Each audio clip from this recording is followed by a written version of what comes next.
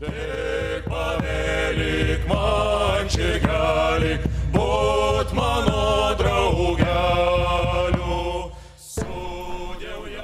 Uh, I should also mention my list of colleagues here who also um, contribute and direct this wider project. Um, so, the site that I'm going to present today is Roman Silchester, uh, located here in the southeast of England. Um, this town started, began its origins um, in the late Iron Age period, so about 20 BC, and the occupation on the site spans right in to the sort of end of the Roman Empire in Britain um, through to the 5th century AD. And it's arguably um, a frontier town at its beginning and its end. Um, so, a frontier in the terms of um, the um, Roman advance into Britain, um, into the tribal territory of the Atrebates, and then um, at the end, where you have the sort of medieval, early medieval frontier. Um, so you have the frontier system of Wessex to the south and Mercia to the north. So there are two excavations um, at Silchester. The most recent one is Insula 3, which I'm not going to talk about today um, because mainly the stuff I have from there is the late Roman, so that will be for another time. um, what I am going to talk about is Insula 9, and I'm going to focus on one building, early Roman timber building 8. Um, this is a very exciting building, which I will hopefully demonstrate. Um, and it spans quite a long chronological period. So it spans the time from AD 44 um, right the way through when the um, Iron Age buildings are built across by the Roman street grid, and also the first major building phase, um, where buildings are built, these buildings here, but they don't conform to the Roman street grid. So, this is a very good sort of case study to sort of look at issues of acculturation. Um, and also how people resisted Romanization. So I'm going to use a micromorphological approach to demonstrate how this building developed and was used, and also how it sort of um, developed from an earlier building, which is called at the moment Early Roman Timber Building 9. this could change. Um, and then I'll say a bit about how the life of the inhabitants, what that was like in terms of the structuring of the internal space and the activities. So, for anyone who doesn't know, um, this is how soil micromorphology samples are collected. Um, you can't always use a tin, sometimes you have to cut and wrap. um, and normally they're collected from section faces, um, often in the case of particularly the buildings at Silchester, where you have an open area excavation, you often have to sort of cut down into the floor with a small working section as well.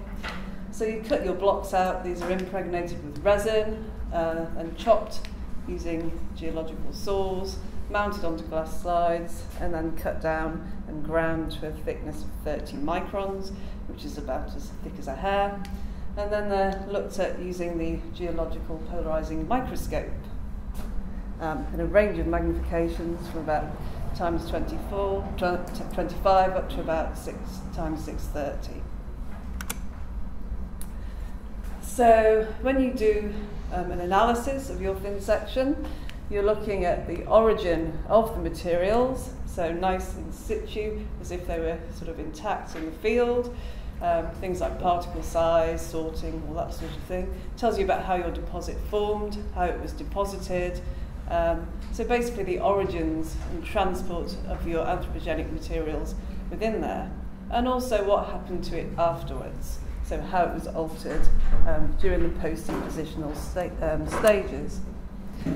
So this is the matrix. of early Roman timber building 8.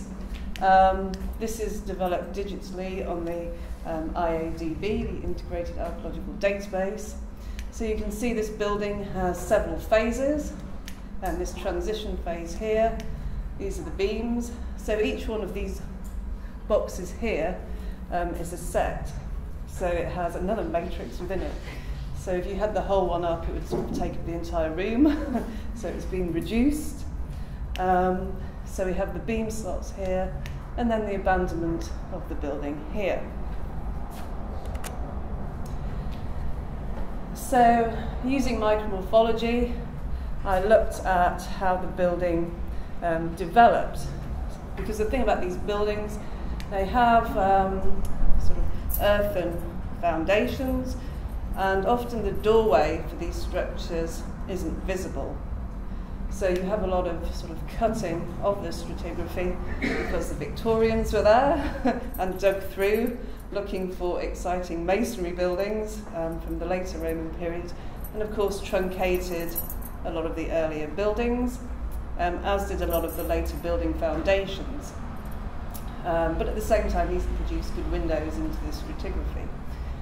So, using micromorphology, I looked at the deposits um, and was able to identify um, build-up of trample material within certain parts of the building and how these sort of trample deposits changed as the building sort of evolved and new floors were laid and new hearths were built. So by mapping the movement of the trample deposits, we were able to work out where the sort of doorway kept moving to, so how people entered the building.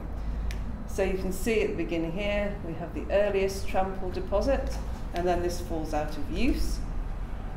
And then it sort of builds up here um, in the later phase of the building.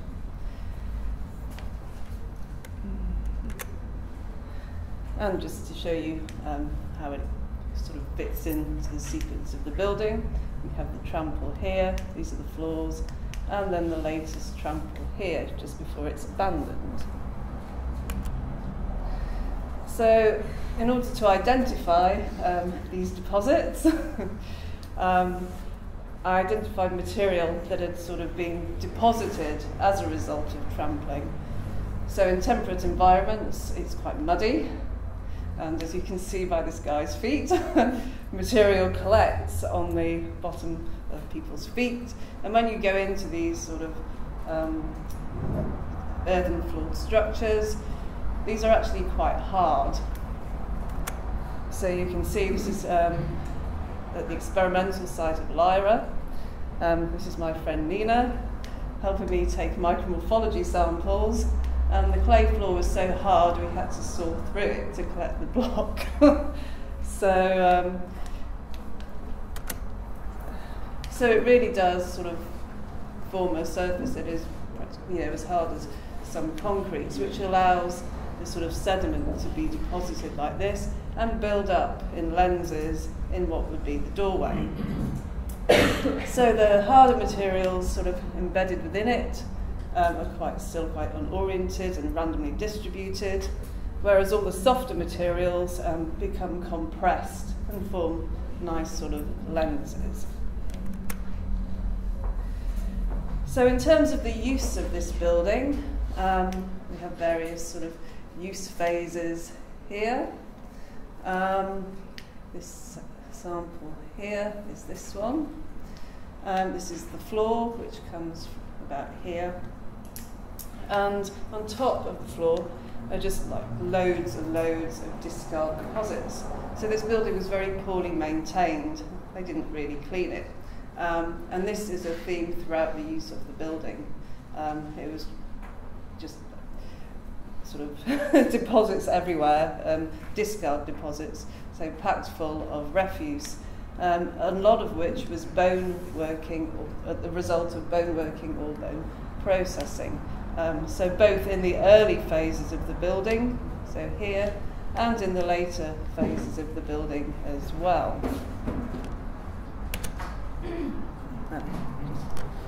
to show the location of some of the hearths within the building. The red blocks are hearths. Um, and there were many hearths within this building. um, so you can see here sort of highly sort of reddened sediment, and under the microscope, um, this is sort of loads and loads of micro laminations of burnt sediment and ash. So a lot of build-up of residues around the hearth, and this again is a theme that continues throughout the use of the building as well. So a very poorly maintained, quite industrious um, use of the building. And this is um, some slides of the deposits around the hearth, and you can see here all the micro lenses of ashes and decalcified ashes, and bits of charcoal and burnt dung as well in this building, and again here. So this hearth um, had stayed in the same place for a while and built up over time. And the sort of dirty nature of this building is also supported by the geochemistry. So I don't know if you can see all the um, elements. This is phosphate. Um, this is early Roman timber building 8, so that's the alignment there. Um, this is timber building 8 here. And you can see very high phosphates um, compared to the other buildings. And also we have this sort of dot here. And that was the hearth that I just showed you. This one here. Um, and it looks like there's been sort of, um, some sort of copper alloy working taking place on this hearth as well. so moving on to the earlier phases of the building, um, this is what I'm starting to look at now and we seem to have a glass blowing workshop earlier on. So continuing the sort of industrial use of the building, um, starting off with the glass blowing workshop. So we had a nice deposit of glass on, on, on top of which um, someone had dumped a load of very silica rich sand, highly fired sediment as well. So that's what we're investigating next. And just to sort of introduce early Roman timber building 9, this is the outline of 8. And this is what we have of 9. so a few sort of stake holes and post holes, really quite ephemeral in terms of what was there beforehand. However, we do have a matrix. um, so the samples that I have Again, this one, this is the one from the glass blowing workshop, but the deposits at the bottom also span into early Roman timber building 9. And what we do know is we have, again, um, hearths with very high um, temperature burning taking place. So it seems that we have an industrial um, use of the building starting in, it very, in its very early stages. So, just to conclude, um, in terms of the use of the building, this is a very poorly maintained building, residues built up, and they were allowed to build up, um, particularly in comparison to some of the other buildings that were very clean.